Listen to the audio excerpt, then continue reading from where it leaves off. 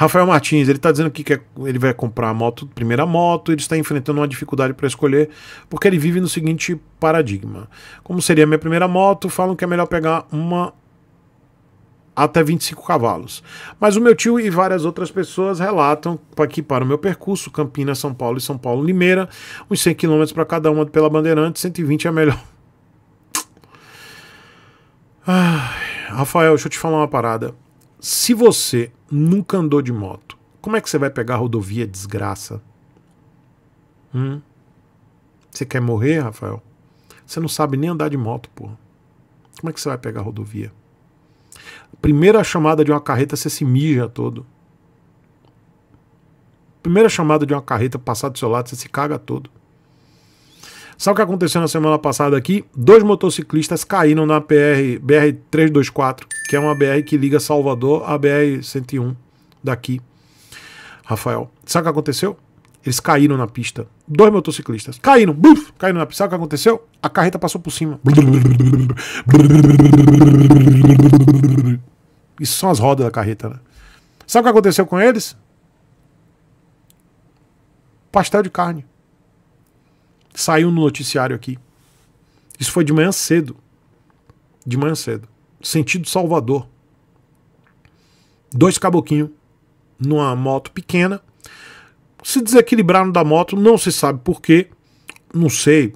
Óleo na pista. Não, não importa. Caíram, caíram. Caiu de, de, de duro mesmo. De, de, Caiu de maduro. E a carreta que estava atrás fez o quê? Acabou a história desses dois caboquinhos. Entendeu? Se você, que é um Zé, não sabe nem andar de moto, como é que você já quer pegar a rodovia, Zé? Aí tem as, as regras que eu sempre coloco aqui, pô, começa numa moto de 25 cavalos, rodovia depois de um ano rodando na cidade. Ah, tio Chico, eu não tenho um ano para rodar dentro da cidade, não, porque eu trabalho em outra cidade. Então pega buzu, porra. Compra um carro, junta dinheiro, pega um carro. Carro você tá protegido, você tem lá bag, barra de proteção. Ah, eu não tenho dinheiro para carro, pega um ônibus. Ah, eu não quero pegar ônibus, então vai pro inferno. Vai buscar outra informação, então. Para mim, aqui assim, ó. Não tem experiência, roda na cidade. Um ano. Não tem tempo pra andar na cidade, não pega moto. Deixa a moto lá, roda no final de semana, espera dar um ano. Porque na cidade você tem muitas variáveis. Você tem o cachorro, a mulher atravessando a rua, o homem atravessando a rua, cracudo, doidão, os carros te fechando, o ônibus te fechando. Ali vai trazer experiência. Na rodovia tudo é muito rápido. Não tem a mesma dinâmica de uma cidade que vai lhe trazer toda a experiência. Então como é que você não sabe nem andar de moto, você vai pra rodovia? É, arrasta para cima. Entendeu, Zé? Rafael. Seu senso de autopreservação é, é zero. Eu sempre faço com esse tom de grosseria, porque eu fico impressionado, Rafael. Como é que a pessoa, ela não percebe assim, tipo, pô, rodovia é perigoso, velho. Como é que eu, eu que não sei andar de moto, eu vou pra rodovia? Eu acho coisa de gente estúpida. Eu, não consigo, por isso que eu perco inscrito, por isso que as pessoas não gostam de mim, porque eu não consigo. Eu sou uma pessoa que eu tenho dificuldade para entender isso. Eu tenho 45 anos, vou, vou fazer 46 em 6 de outubro. Eu fico pensando assim, pô, velho, eu sempre tive senso de autopreservação. Eu sempre prezei minha vida, dei valor à minha mãe que me cuidou, meu pai que me botou no mundo, que cuidou de mim, honrando os meus pais, porque, pô, velho, eu, eu tenho que me manter vivo para honrar os meus pais, que cuidaram de mim, gastaram dinheiro, limparam minha bunda, gastaram. E na época que eu era criança, minha mãe lavava minha fralda de merda na mão. Não tinha esse negócio de fralda é, descartável, não. Fralda descartável era para quem tinha dinheiro, era rico. Eu sou de 1978, na minha época, para ter, para saber o sexo de uma criança na barriga da mamãe, você tinha que pagar a, o ultrassom no particular. Na minha época, não sabia o sexo da criança, a não ser que você pagasse. Meus pais, ou porque meu pai era muito canguinha, ele não quis pagar. Não pagou. Então, minha avó queria menina, queria uma neta. Fez um monte de roupa lá pra menina. Minha mãe, rapaz, não faça isso. Fez um monte de coisa lá, cor de menina. Nasceu a Birola. Nasceu Francisco. Minha avó queria Mariana, mas veio Francisco. Entendeu? Mas tudo certo, tá tudo bem. Mas não tinha nem ultrassom. Minha mãe limpou minha bosta na mão, cara. Fraldão, lá, que era aquela época de alfinete. Eu sou da época que era fralda de pano a mãe limpava a merda na mão e botava aquelas fraldas de alfinete. Quem tem minha idade sabe do que eu tô falando. Aí vem um Zé desse, um bufa fria, quer já entrar na rodovia. Porque eu fico, eu fico pensando, porra, eu com 46 anos, eu dou valor à minha vida pensando assim, porra, meus pais se ferraram, velho, para me dar alimento, educação, gastaram dinheiro do caramba para me dar educação, para eu poder ter, sabe, ter o melhor da minha vida. Aí vem uma desgraça dessa, porque você para mim é uma desgraça mesmo. Desgraça pros seus pais e não pensa assim, porra, velho, eu vou me preservar para valer cada centavo que os meus pais gastaram pra minha vida. Porra. Porra, eu fico vendo cada desgraça dessa que vem aqui e fala, pô, eu quero pegar a rodovia, não sei andar de moto. Ou então vem um demônio e fala assim, pô, eu quero começar numa moto de 40 cavalos, eu tenho dinheiro para pagar. Eu não tenho pena não, pô. Por isso que eu sou grosso, por isso que eu sou animal, cavalo, jumento, e meu intuito é perder inscritos, porque eu não tenho paciência. Ah, tio Chico, lá no passado você era paciente, mas é porque eu não tinha mais esse eu, eu Primeiro ano de canal, eu não tinha esse contato mais direto com vocês. Hoje eu tô aqui todo dia. Todo dia eu ouço os absurdos desses jovens. Tudo cabeça de bosta, velho.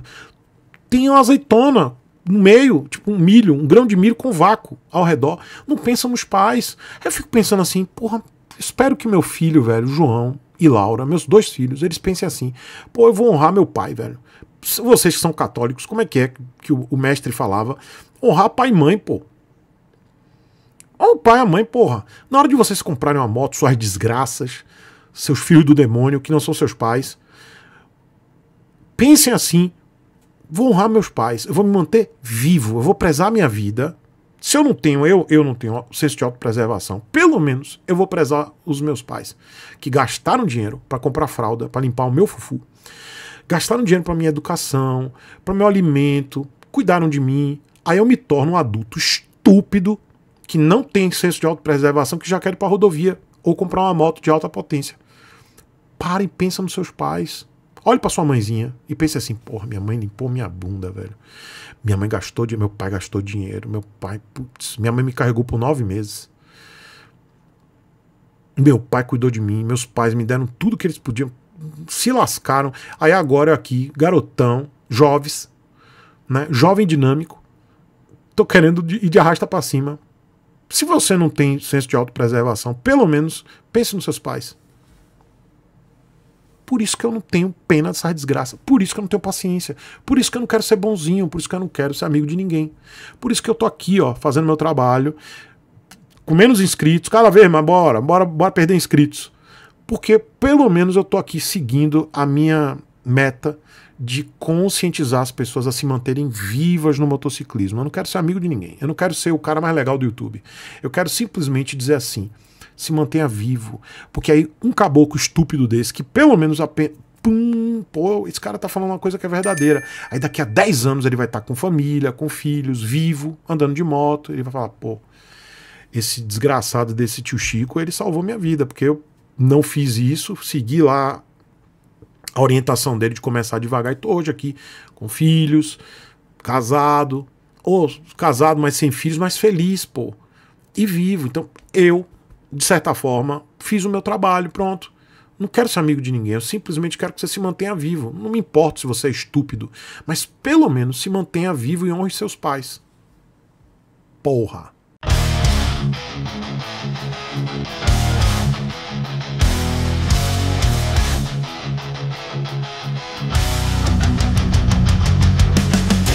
espaço distorce o tempo Aquela moto que aparece em meu celular E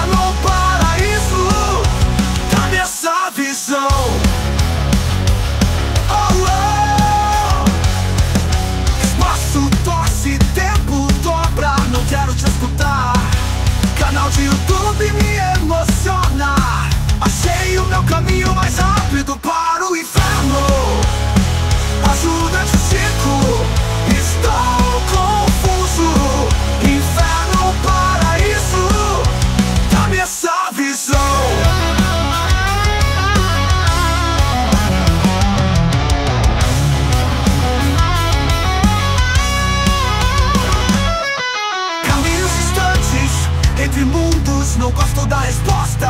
Na escuridão, na emoção do celular.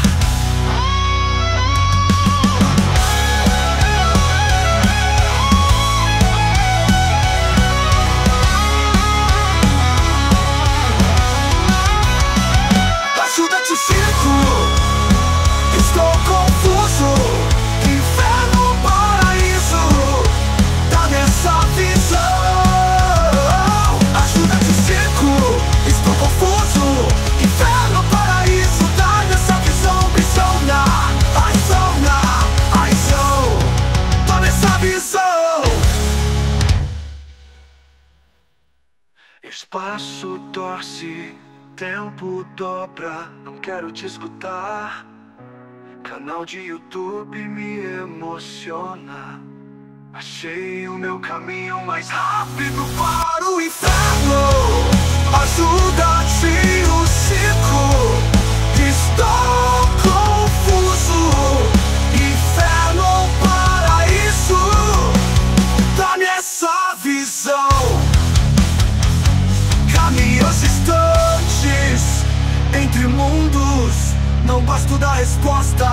escuridão, na emoção do celular.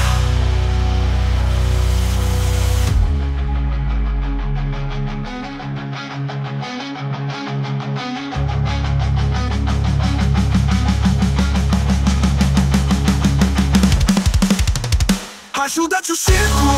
Estou confuso. Inverno para resposta na escuridão.